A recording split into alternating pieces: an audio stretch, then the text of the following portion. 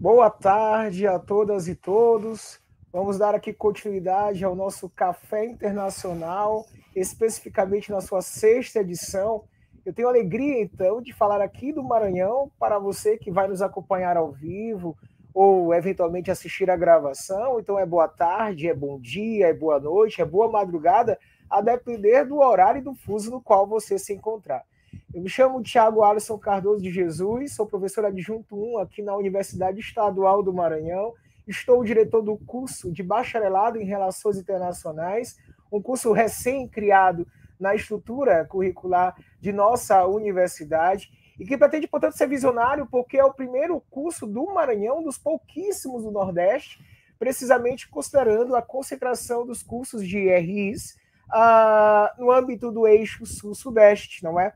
E nós estamos em uma região que é uma região de porto, que é uma região também de diversos empreendimentos a, a, econômicos, que também situa-se à base de lançamento de Alcântara, e também uma região de um multiculturalismo intenso, de comunidades tradicionais quilombolas, indígenas. E temos, portanto, aqui também um litoral belíssimo, que quem, portanto, não conhece está convidado a conhecer. Então, logo a pandemia cesse, né? Queremos também encontrar todos vocês para tomar um café presencialmente, mas também observar que há nessa região uma potencialidade cultural, econômica, política, estratégica para esse curso que está a ser implementado e que já será ofertado na, na próxima edição do nosso vestibular.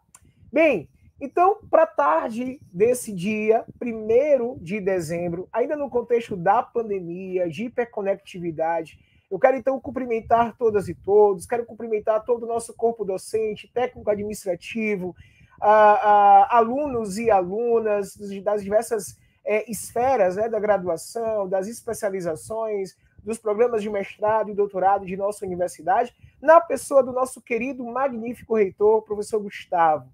Quero também cumprimentar todos aqueles que estão acompanhando esse café internacional de uma maneira muito especial garantindo acessibilidade a todos, gerando a nossa preocupação da UEMA de gerar inclusão por mediações afirmativas e concretas, né? Então, quero cumprimentar todos e todas hoje de maneira especial na pessoa do Ricardo Barros, né, que está aqui, portanto, ajudando a nossa transmissão. Alegria, Ricardo. Sempre bacana demais observar que cá estamos também tentando favorecer que todos e todas possam conosco conversar. Bem, na tarde então de hoje, no nosso Café Internacional, coube então a mim um curso de curta duração, contextualmente situado né, no âmbito do nosso projeto pedagógico de curso, nos seus diversos eixos de formação estruturante, interdisciplinar e de formação voltada à atividade profissional e complementar, e que traz à tona uma pauta que ela é constantemente renovada, é uma pauta aberta, é uma pauta multidimensional que sempre permite diversas outras discussões. Na tarde de hoje, além desse curso de curta duração, nós teremos uma conferência com a professora Maria da Glória Gonçalves Aquino, que vai conversar sobre peticionamento perante a Corte de Direitos Humanos. E para finalizar, uma conversa muito agradável em uma mesa de diálogos acerca do bacharelado em RI da UEMA para pensar e intervir bem no mundo. E é justamente, justamente falando sobre esse mundo, em uma disciplina que no nosso curso chama, se chama Mundo Contemporâneo, que nós queremos, portanto, pensar este curso de curta duração. Para então aí garantir a quem nos assiste, quem vai nos assistir, um aperfeiçoamento adequado para de fato fazer pensar um pouco das relações tensas que são experimentadas tanto no âmbito global, quanto também regional, quanto também local. Então, o curso de curta duração, intitulado Relações Internacionais Humanitárias, Movimento Antidiscriminação e Agenda 2030 da ONU, será por mim ministrado e nós vamos começar agora. Peço então que o nosso material seja projetado para que a gente possa então acompanhar de uma maneira didática um pouco do percurso da tarde de hoje, neste primeiro momento que estamos, pois, a começar. Me chamo Tiago Alisson, falo, portanto, aqui do Brasil, mas quero, portanto, referendar uma experiência de internacionalização que pude fazer em um momento anterior à pandemia, lá na Universidade do Minho, situada na cidade de Braga, em Portugal. E lá eu pude, inclusive, além de participar de algumas bancas e assistir e, e, e prestar também algumas ali conferências no âmbito de alguns seminários, inclusive continuados no contexto da pandemia, falando daqui do Maranhão para Portugal, também no contexto da pandemia da hiperconectividade, eu pude, portanto, conhecer a Faculdade de Direito da Universidade do Minho, que é uma das poucas faculdades de direito na modalidade da licenciatura, e que tem como postulado, né, basilar, a premissa fundamental, a educação para direitos humanos. É uma perspectiva tanto estadista, quanto também no reconhecimento dos atores, sujeitos, né, ou configurações dos indivíduos internacionais trazendo à tona diversas pautas, como a pauta da mobilidade humana, né, que nós vamos chamar aqui no Brasil precisamente como refugiados, ou direito ao refúgio, a pauta também dos movimentos contra todo o azar de discriminação e de intolerância, e que é uma pauta, então, que vai também configurar o que nós vamos chamar aqui de movimento antidiscriminação, e que claramente ela goza de uma natureza interdisciplinar.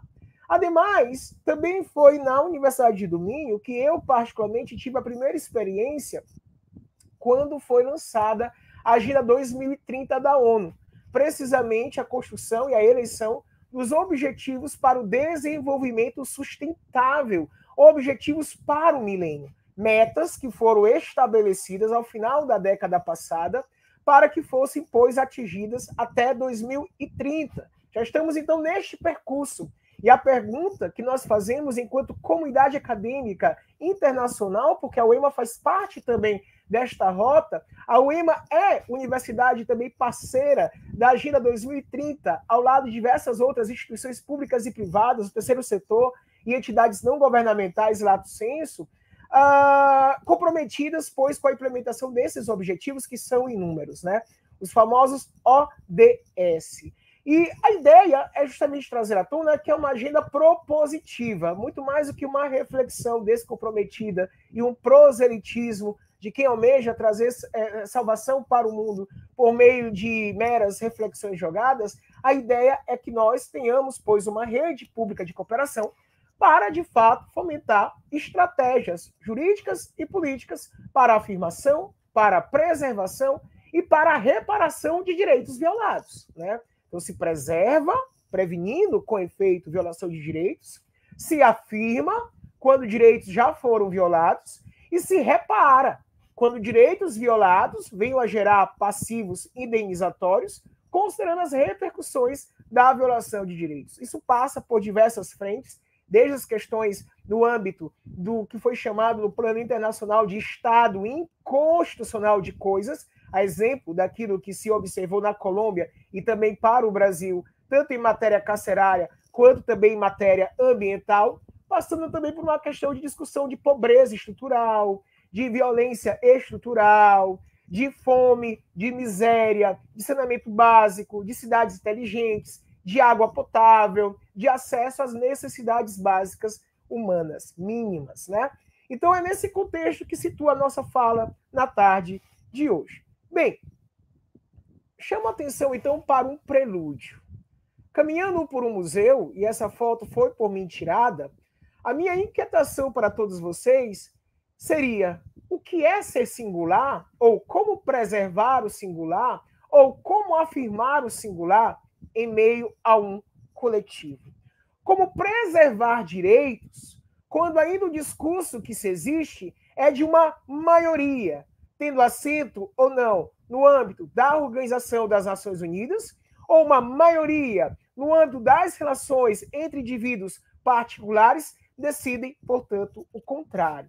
Talvez a gente tenha emergido no âmbito de, umas, de algumas relações humanitárias ditas democráticas no plano internacional, a partir da qual a construção do consenso passa por uma democracia de maioria, Aquilo que a maioria, portanto, definir, a minoria resiliente deve, portanto, baixar a cabeça e aceitar. A premissa é perguntar o que é singular no coletivo. Ainda que a maioria decida, como preservar e afirmar direitos para todos e todas em meio, portanto, a uma coletividade? Como afirmar singularidades em meio a uma multidão? Como proteger peculiaridades em meio a um grupo maior de indivíduos, pessoas, instituições. aplique. Como preservar relações internacionais humanitárias concebidas globalmente sem violar direitos no âmbito local?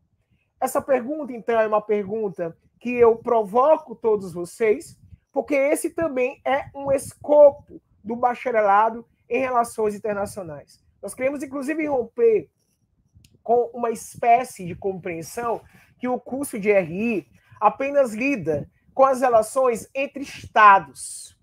O nosso curso ele almeja formar holisticamente, inclusive para pautas que são pautas inegociáveis. E afirmar a singularidade em meio a uma multidão é se comprometer com a afirmação de direitos. E afirmação de direitos ao gênero humano, que é a premissa fundamental para que de fato se conceba a própria ontologia ou a própria razão, a própria justificativa da existência de um Estado. Né? Então, é nesse contexto, desse prelúdio, né, tentando, portanto, provocar vocês, nessa foto que me chamou a atenção, o museu que eu pude visitar, à beira do Rio Douro, é que eu quero, portanto, aí iniciar a nossa fala do nosso mini curso. Queridos, a nossa análise ela é contextualmente situada. O efeito que se traz à tona é um tempo de desassossego, é um tempo de crise de paradigmas para homenagear o professor Boaventura de Souza Santos, que é inclusive professor dessa universidade, porque recebeu da UEMA o título de doutor honoris causa em 2019, pude inclusive comparecer às cerimônias. E esta crise de paradigmas, conforme Boaventura de Souza Santos, é uma crise que ela não significa rupturas, mas inúmeras continuidades. Diria Boaventura de Souza Santos, salvo o melhor juízo, com uma liberdade de cátedra e também poética, para então parafraseá-lo, que o paradigma novo não há, portanto, de fazer morrer o paradigma antigo, mas com efeito, o paradigma novo seria uma continuidade, não numa perspectiva de linearidade, mas de simultaneidade, de coexistência com paradigmas velhos. É por isso que a crise de paradigmas em estados democráticos ela é acompanhada por diversos conflitos de ideologias.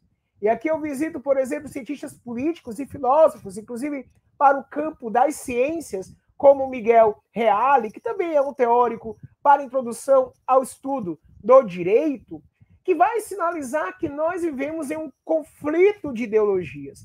Conflito esse de ideologias que, por vezes, pode ser, inclusive, uh, um tanto que nocivo, na medida que se apregou a que um pensamento, uma filosofia, uma teoro, teoria, uma ideologia venha, portanto, a prevalecer sobre tantas outras. A nossa dificuldade de dialogar com o tempo presente reflete a própria dificuldade de perceber a totalidade dos nossos tempos. Né? Com efeito, me parece que nós corremos sérios riscos de acontecer conosco aquilo que Benjamin chamou de apagamento da memória.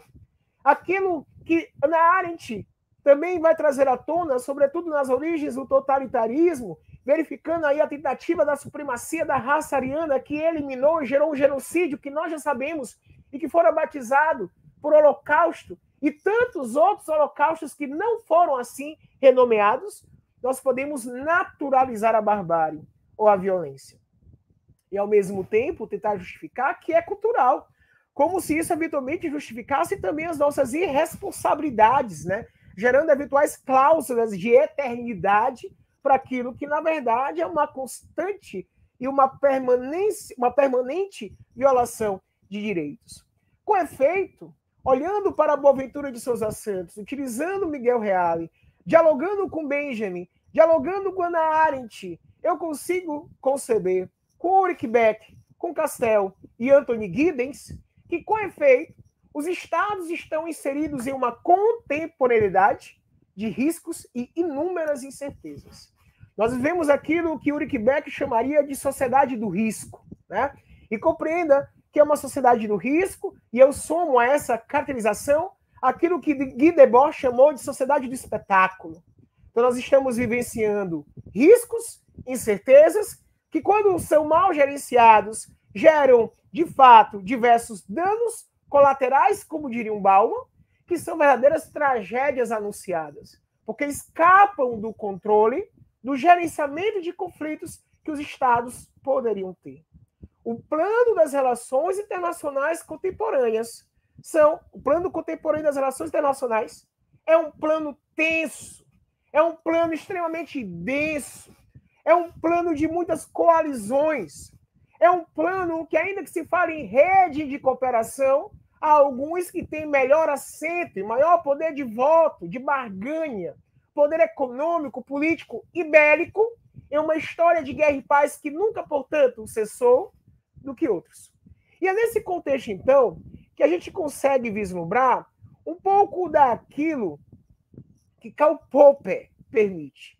Esse curso quer fazer pensar. O curso de RI quer formar internacionalistas ou profissionais em RI ou bacharéis em RI que discutam cientificamente o cenário internacional ou a ambiência internacional, porque o cenário parece algo do mundo do teatro, né? Por vezes ele pode ser também forjado. Então, uma ambiência de inúmeras relações de poder. O nosso curso de RI quer, então, provocar a fazer ciência engajada. É por isso que a minha fala também tem um sentido científico, e claro, na condição de diretor de um curso de bacharelado em RI, de uma universidade estadual como é a nossa, não poderia ser diferente. Então, nós queremos nessa tarde, nesse curso de de curta duração, compreender as relações internacionais e as múltiplas relações que elas possuem, né? E, com efeito, pensar essas repercussões em uma aplicação. Em que sentido, professor? Em uma aplicação no âmbito dos sistemas protetivos de direitos humanos. E claro que olhando para o nosso tempo, nosso chão, nossos dilemas, nós olhamos para o sistema interamericano de direitos humanos, claramente sem embargo e sem olvidar e sem se eximir da necessária afirmação dos sistemas regionais de direitos humanos, tanto na Ásia quanto também na África, bem como também na própria Europa. Sempre tentando realçar o multiculturalismo e vislumbrar que precisamos gerar uma era da hiperconectividade, do espetáculo, tensa e densa, mas ao mesmo tempo propositiva, para problemas que em muito extrapolam as fronteiras geográficas e alcançam, portanto, o mapa mundial, alcançam, portanto, o território global. É nesse contexto a nossa fala, nessas preliminares, para então vislumbrar que lugar é esse que nós estamos ocupando, para então disso também conseguir falar. Bem, meu lugar da fala é o lugar de alguém que reflete, pensa em direitos humanos e também milita na área, não é? Então, ao mesmo tempo, como professor, eu também falo como pesquisador, como extensionista, como advogado, como cidadão e como pessoa. Então, eu convido todos vocês para que a gente faça um estranhamento a esse tema, para que a gente consiga falar novamente de direitos humanos, de seu alcance, de suas peculiaridades, de também discutirmos os diversos relativismos, bem como também colocar na pauta a forma como esses tratados, convenções, regras e acordos são executados a partir de um processo de internalização, sempre no sentido de afirmar direitos da pessoa, afinal, a pessoa humana é o titular e a destinatário, o destinatário das regras de poder. A pessoa humana é, inclusive, quem justifica a própria atuação do Estado em um tempo de desencanto e isso, portanto, vamos juntos falar novamente, não é? Então, eu peço muito sempre que a gente permita, mais uma vez, falar sobre isso, porque um contexto brasileiro, precisamente, de polarização superficial, sem grandes discussões, só de direita esquerda, bem ou mal, cidadão de bem ou não, ou bandido, compreenda que a nossa discussão ela fica muito rasteira. E não é isso que nós precisamos. E o mundo complexo atrai respostas complexas a partir de hipóteses que também são sofisticadas e complexas. Então, não dá com efeito para discutirmos problemas públicos complexos que extrapolam as fronteiras geográficas nacionais e que, portanto, atraem o olhar das relações internacionais com uma lupa apenas, né? com apenas um olhar, com apenas uma disciplina de olhar mas com a perspectiva, uma ótica interdisciplinar, talvez a gente consiga chegar um pouco mais próximo da complexidade do mundo pós-contemporâneo. Falar então de direitos humanos nessa ambiência é trazer à tona que esses direitos revelados gradativamente, paulatinamente, formam um todo, ao que se chamou, em Bueno, de unicidade, uma totalidade de proteção de direitos para toda existência humana, face à ingerência de indivíduos, de particulares, e face à ingerência do próprio Estado. O Estado, portanto, também no âmbito internacional, encontra-se limitado. E os limites que se impõem para que os Estados não pratiquem arbitrariedades, abusos de poder e práticas de lesa humanidade são limites impostos pelos próprios ordenamentos. Ordenamentos esses oriundos do plano internacional ou do âmbito doméstico, dos próprios estados que estão, portanto, aí por esses ordenamentos limitados. Há um conteúdo essencial que é o conteúdo de proteção da pessoa. E esta pessoa humana sendo afirmada, sendo preservada, tendo direitos violados, significados e eventualmente reparados, a fim de realçar uma proteção em concreto da pessoa. Certa vez estava eu a caminhar por uma grande avenida da capital do estado de São Paulo, e eu li, portanto, ali numa, forma de grafite, a seguinte expressão: chega de direitos. Queremos efetivação. Chega de direitos. Queremos efetivação. Eu não sei qual é a formação que aquele grafiteiro tem, mas compreenda que aquele grafiteiro me fez refletir que existe aquilo que Boaventura de Souza Santos também já havia preconizado, um curto-circuito histórico, quando nos diversos estados contemporâneos Existiu, pois, um processo intenso de revelação de direitos, e esse processo intenso de revelação de direitos não foi, pois, acompanhado pela emergência necessária das políticas públicas para a sua efetivação. Ficamos, então, entre o perfil oficial, normativo, ideal, e o perfil real, cruel, concreto, que requer uma atuação incisiva do Estado para que eleja, para além da política partidária que se faz no âmbito doméstico desses estados, a afirmação de direitos. As relações internacionais humanitárias pressupõem isso. E a discussão de direitos humanos é uma discussão que extrapola muito o universo do direito. Mas é uma discussão que, de fato, é humanitária justamente para a complexidade da pessoa humana. E, portanto, requer um olhar da antropologia, da sociologia, da economia, da política, da medicina, da biologia, das engenharias, da arquitetura, etc. E compreender isso é perceber que nós estamos em dimensões de direitos humanos que se atrelam à complexidade das proteções que são oriundas dessas dimensões em uma ambiência de universo. É por isso que vai se falar, inclusive, da expressão universidade. Claro que aqui a gente aplica a ideia de academia, mas se eu quiser, né, se eu desejar aplicar a ideia de universidade ou de universalidade ao plano das relações internacionais, eu preciso conceber que existem pontos de convergência em meio àquilo que é diverso. E a esses pontos de convergência, eu tenho a unidade que gera o nome universidade que é a convergência que gera unidade em meio a uma totalidade de diversos ou de complexos, que nós não conseguimos, portanto, tornar homogêneo.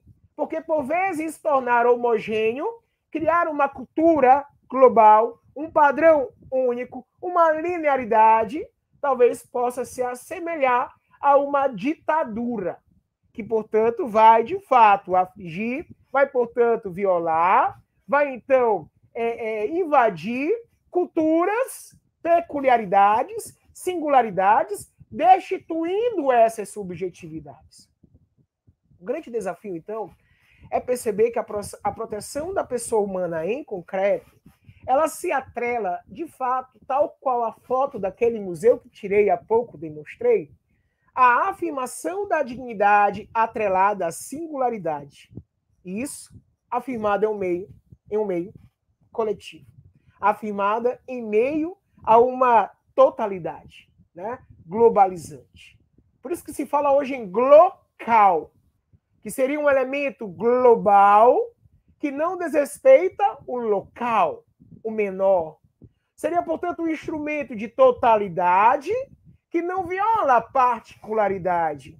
Seria, portanto, uma proteção glocal.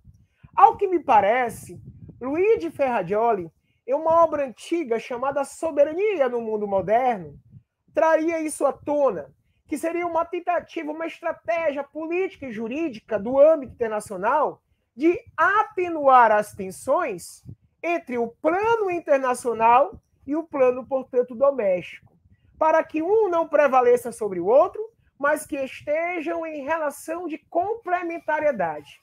Foi nesse contexto, então, que no âmbito das relações humanitárias, nós tivemos aí a Declaração Universal dos Direitos Humanos como um instrumento de proteção global.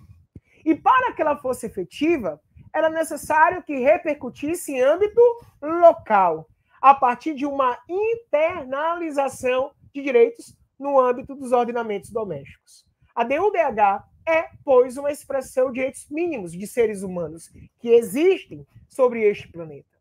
É também um marco normativo internacional do próprio sistema protetivo das Nações Unidas. Gerou impactos, repercussões internacionais, porque passou a ser fonte para diversos outros tratados de direitos humanos, bem como também passou a ser uma premissa para a internalização de direitos no âmbito dos estados, ou seja, a revelação em normas domésticas, no âmbito interno, no âmbito, portanto, local. É o local sendo, pois, prenunciado para a proteção de direitos fundamentais. O que se colocou na pauta, meus queridos, do nosso café internacional foi a própria discussão da eficácia dessa norma. A diferenciação entre o mundo real, oficial, e o mundo cruel, a vida como ela é, como diria o poeta brasileiro. A ideia é perceber que entre a previsão normativa e a efetividade há um caminho extenso. E os estados, por vezes, por não trilharem bem esse caminho, podem ser coniventes na violação de direitos e podem vir a ser condenados, como o Brasil, inclusive, já foi, em casos, por exemplo, de nação, em casos, pois, de violação de direitos que não foram reparados em tempo e, e de maneira efetiva, em casos, pois, que o Estado brasileiro não trouxe uma resposta em tempo hábil àquela violação de direitos. O problema para a Declaração Universal de Direitos Humanos é a ausência de suporte procedimental para que se judicialize esses direitos. A discussão se houve ou não houve genocídio. A discussão se houve ou não houve crimes outros de lesa humanidade passa pela atuação interna dos estados, por meio dos poderes constituídos para tal, como é para o Brasil o poder judiciário, como também tem essa competência, ainda que atípica, o poder executivo. Também se coloca na pauta que diversos outros instrumentos tiveram a DUDH como fonte, entre eles o próprio Pacto Internacional sobre Direitos Civis e Políticos e o Pacto Internacional dos Direitos Econômicos, Sociais e Culturais, que é de 1966. Tanto o primeiro quanto o segundo foram, pois, aprovados em 66 na Assembleia Geral da Organização das Nações Unidas. É interessante que diversos mecanismos de monitoramento foram apregoados para o âmbito do sistema global. E esses mecanismos de monitoramento ali apregoados serviram de embriões para, própria, para o próprio delineamento dos sistemas regionais de proteção a direitos humanos. Meus queridos, as pautas são inúmeras e aqui elas estão.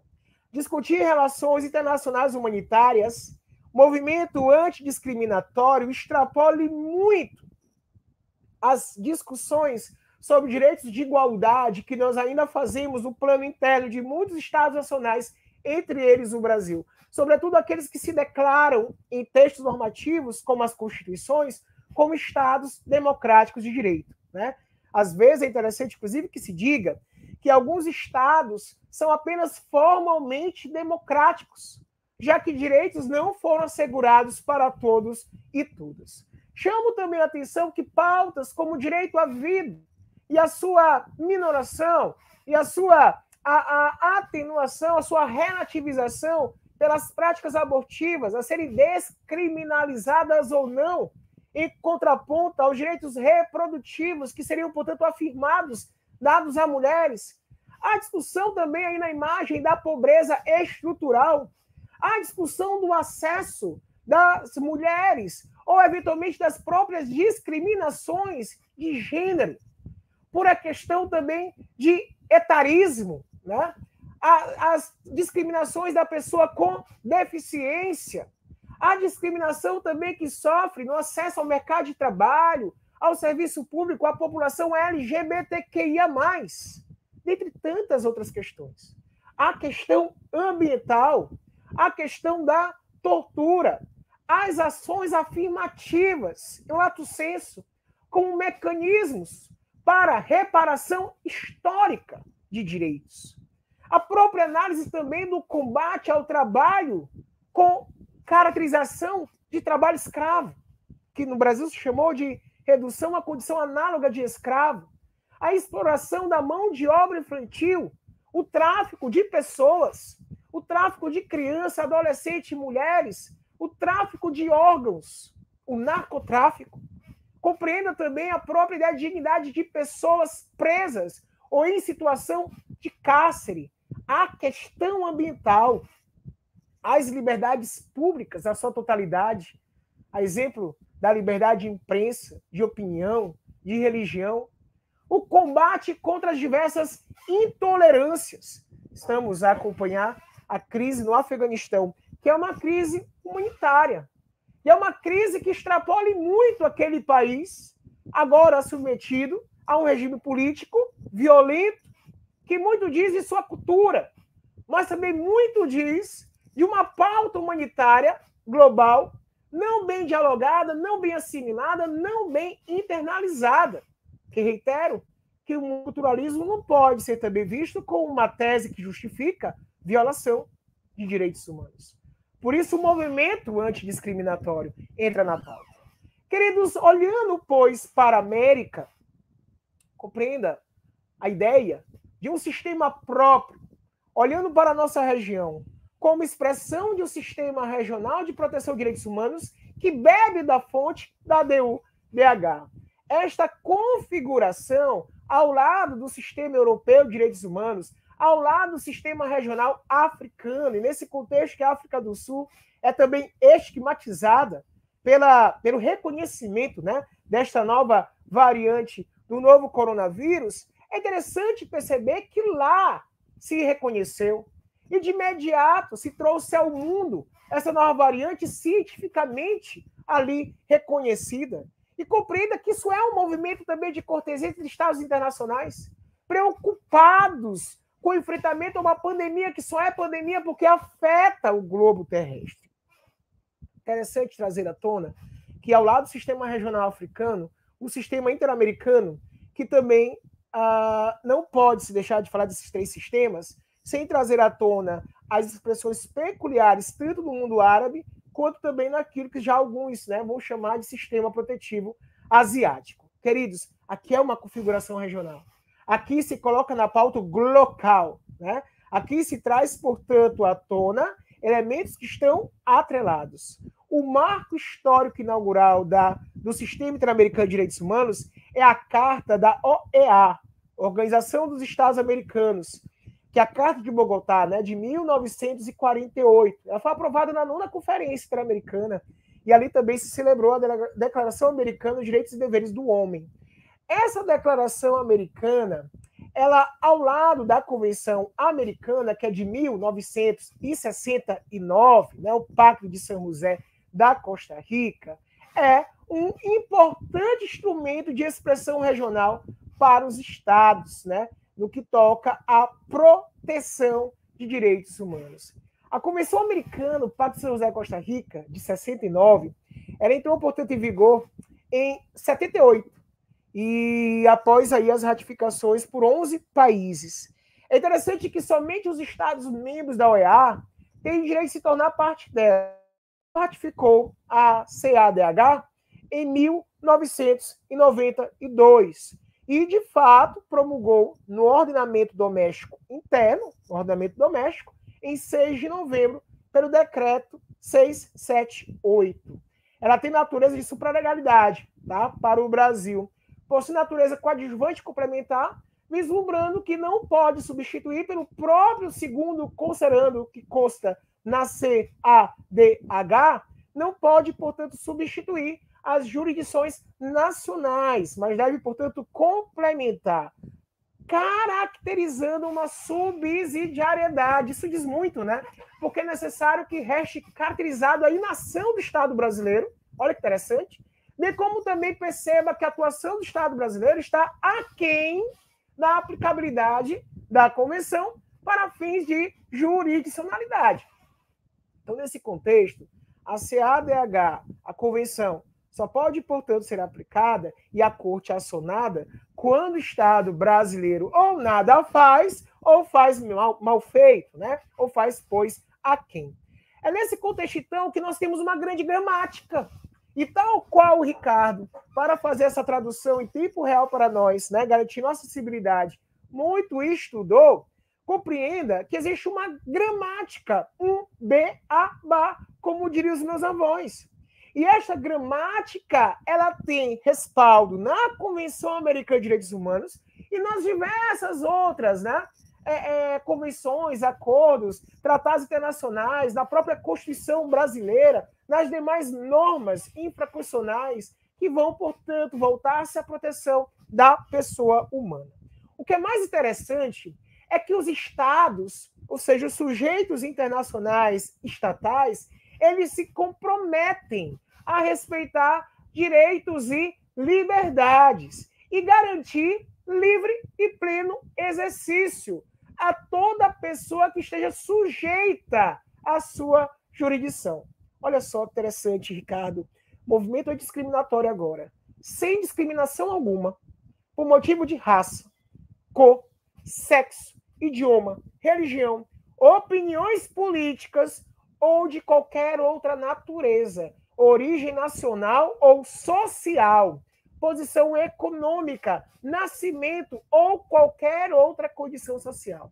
Esse é o primeiro artigo da Convenção Americana sobre Direitos Humanos. Eu ouso falar que é a premissa, é o fundamento da convenção, porque a convenção destina-se a proteger a pessoa humana em uma ambiência, né, que gera responsabilidade dos estados, que, portanto, ao assinar a convenção, ratificando-a em seus ordenamentos, acabam, portanto, por se comprometer a respeitar esta gramática aberta que acabei, portanto, de anunciar.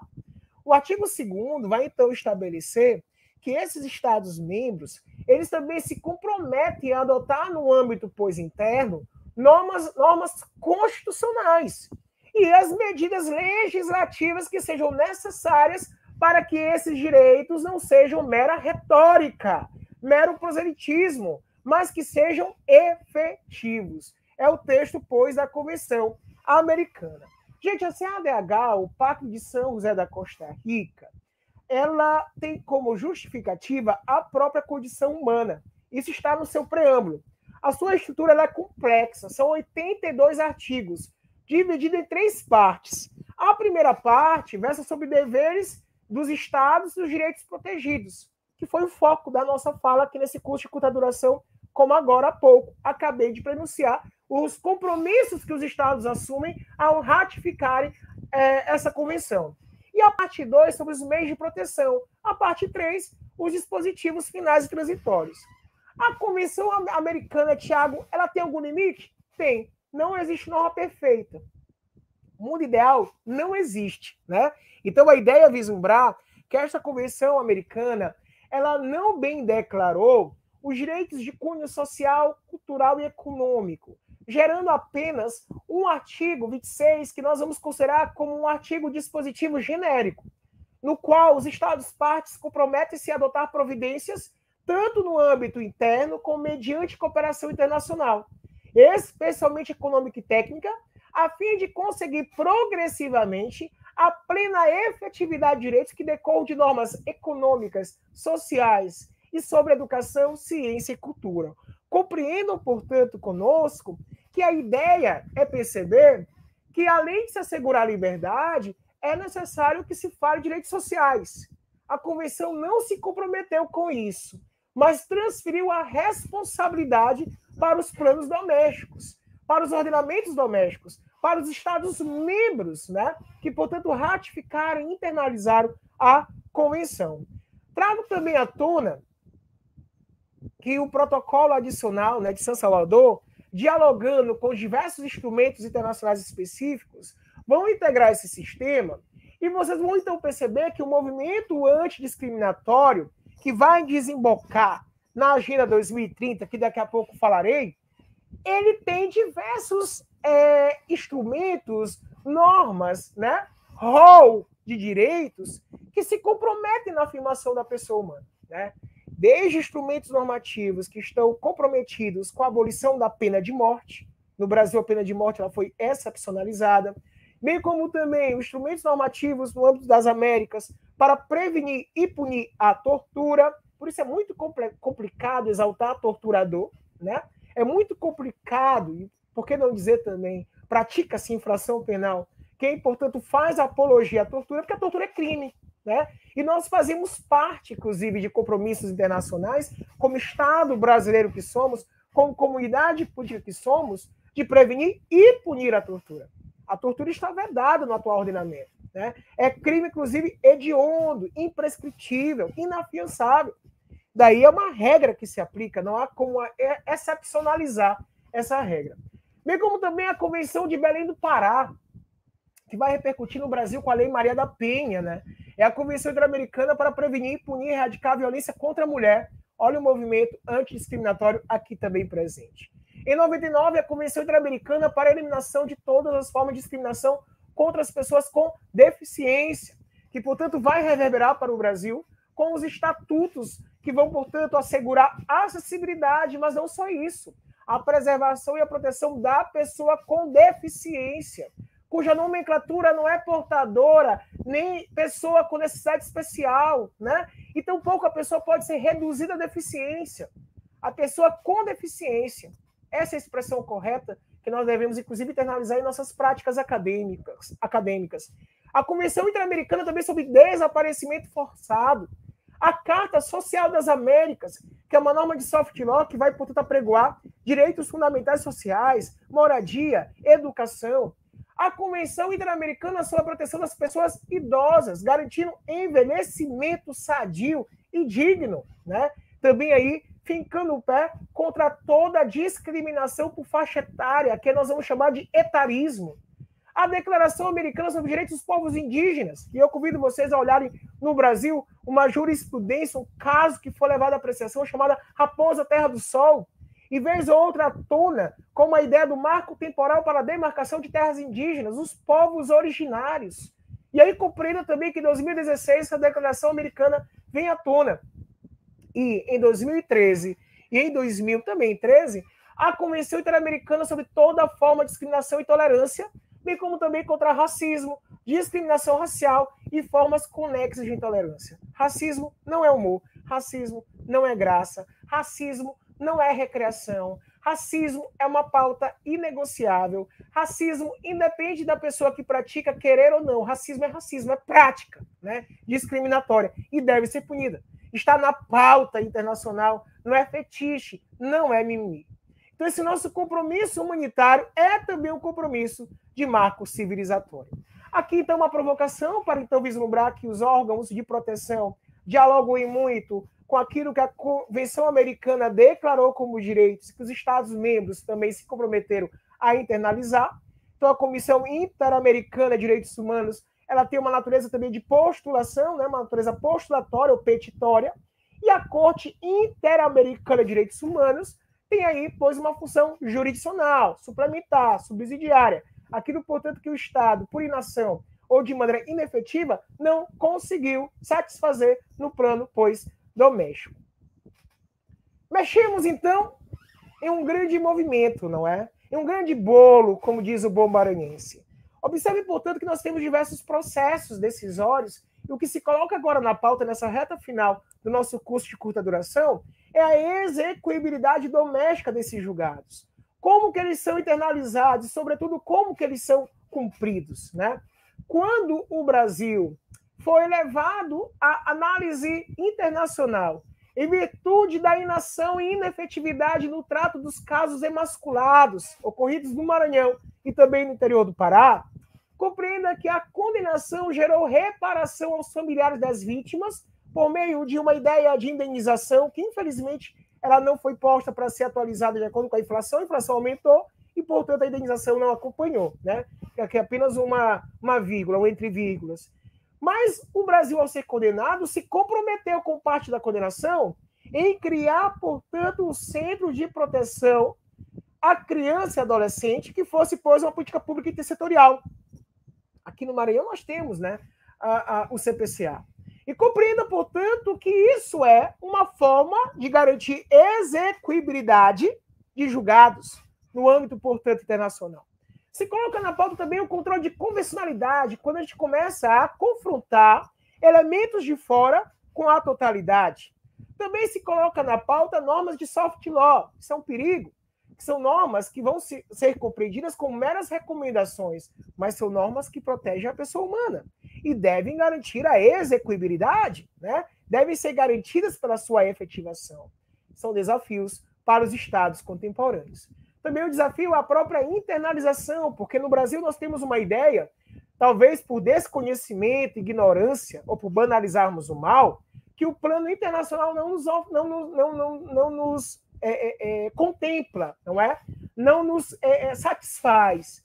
Isso para a gente é muito sério, na medida que se coloca na pauta que, ainda que haja, portanto, uma previsão internacional, é necessário que haja um instrumento normativo interno, é o apego à lei, né? por desconhecimento da força que as normas produzidas fora do Brasil, como país, como Estado nacional, desconhecimento da força que essas normas também têm. Então, o desafio é da internalização e também da construção multicultural das relações internacionais humanitárias. E aí você consegue vislumbrar que a Agenda 2030, que o Brasil, portanto, se compromete a também desenvolvê-la e implementá-la no âmbito doméstico, é um desafio emergente. É um grito né, atual, é um desafio que, de fato, nos coloca para pensar quais são os nossos compromissos como Estado, né? quais são os nossos compromissos como universidade, quais são os nossos compromissos como cientistas com os diversos objetivos para o desenvolvimento sustentável. Eu fico aqui a imaginar toda a ideia de governança que a Agenda 2030 provoca né, a pensarmos. Os sistemas de compliance, com uma ideia de prevenção, inclusive a própria judicialização, que no Brasil é excessiva, a própria ideia de segurança de direito, de segurança cidadã, a própria ideia de responsividade das instituições, a preocupação com as questões ambientais, com as questões climáticas, com os acordos ante as mudanças climáticas, a construção de cidades inteligentes, o abastecimento de água, energia, o enfrentamento à pobreza estrutural, que abarca alimentos, fome, vestuário, né? que abarca a desassistência hospitalar em algumas regiões, a pobreza menstrual, que também está na pauta, que fala também de empoderamento para indivíduos com deficiência, que discute acessibilidade e sustentabilidade, a ideia de culturalmente diverso, socialmente justo, o eticamente correto, quando se coloca na pauta também o desenvolvimento sustentável, a partir de uma ideia de planejamento, de gestão participativa e democrática. A Agenda 2030 nos convoca a fazer pensar com efeito uma ideia de futuro. A Agenda 2030 nos convoca a pensar com efeito qual é o nosso papel no mundo. Bem, queridos, então finalizando o nosso curso de curta duração, para refletir Vamos tentar, Jonathan, fazer a tradução desse cordel. Eu adoro cordel. Você gosta, Jonathan, de literatura?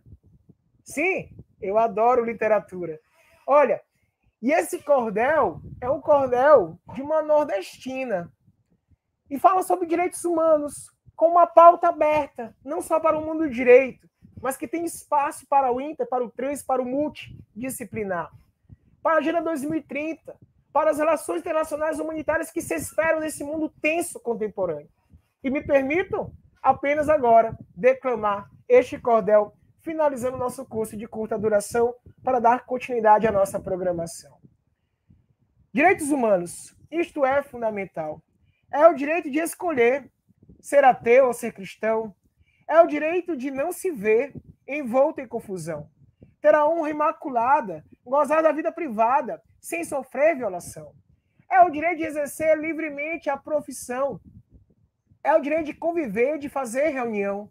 É o direito de se informar, de não se ver processar por tribunal de execução.